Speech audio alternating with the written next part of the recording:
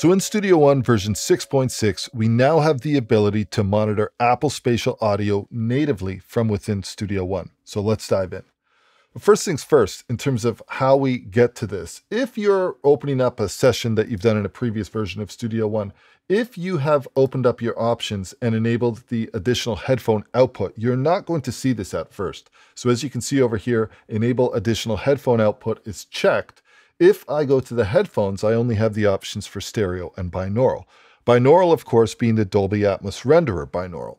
But if you disable this function, take a look at what happens over here. Now, in terms of our outputs, we have the options for stereo, then we have Dolby Atmos binaural, and then we have Apple Spatial Audio. Also, a quick note on this. If you are using an Intel-based Mac, then you have basic support for Apple Spatial Audio, but you don't have the HRTF and the head tracking. And this would, of course, be based on if you're running a Mac OS that is supported for this function. But if you're running a new Silicon machine like a M1, an M2, or an M3, you'll have access to Apple Spatial Audio Standard. And in addition, you'll have access to the HRTF, which is, of course, linked to your Apple ID and also, you could enable the head tracking. Now, with respect to head tracking, you're going to want to make sure that you choose your actual AirPods or AirPods Pros or AirPods Max from the actual menu of your output devices from within Studio One. And then the last thing that we need to do is in terms of our Mac's system output, you're just going to want to make sure that you choose your AirPods, AirPods Pros, or AirPods Maxes directly from within that menu. If you do that, you have the ability to monitor through Apple Spatial Audio with your personalized HRTF. And in addition to that, you can also monitor with head tracking enabled if that's something that you want to do. So in terms of setup, that's it. It's very, very simple. But in this setup over here, this is my 7.1.4 mix room. Now, by default, this is connected to a Studio 192 and a DP88. But I also have a mobile rig set up over here with my Apogee Boom. So in this case, like I said, very easy to just disable that headphone output. And then I'm going to choose now, let's toggle between all three of these. So let's start off with the stereo. Now I'm going to switch over to the Dolby Atmos renderer, or Dolby Atmos binaural, I should say. And this is, of course, based on all of these functions over here. So if I made a selection to these and I wanted to change these, let's go to far just for a moment. Maybe we'll take them off. We'll go to near, and let's go back to mid.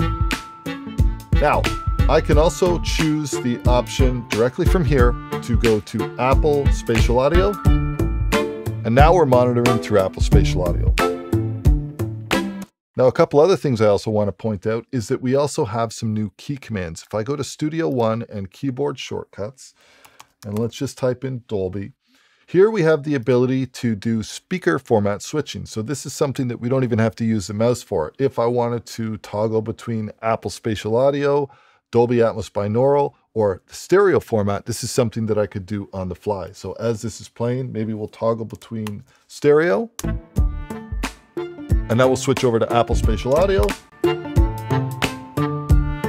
So this is something that we can do on the fly.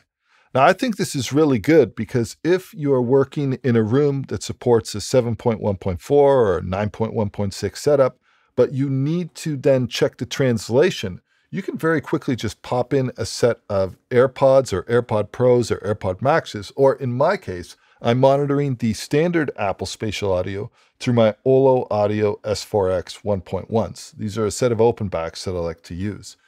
So in terms of checking translation, you really want to make sure you get this right because not everybody is going to be listening in a full room. In fact, most people are going to be listening through a device and they're going to be listening through a set of AirPods or AirPod Pros, especially considering Apple Music is doing such a push with immersive and spatial audio.